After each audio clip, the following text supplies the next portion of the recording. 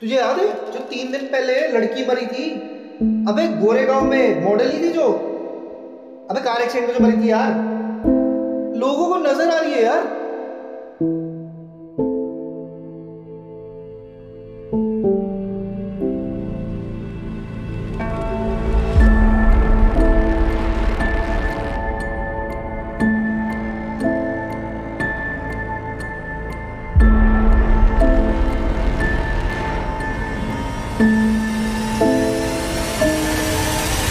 भैया इसे ये कंटेंट तो लाया नहीं जा रहा और बातें करता है ये यूट्यूबर बनने की।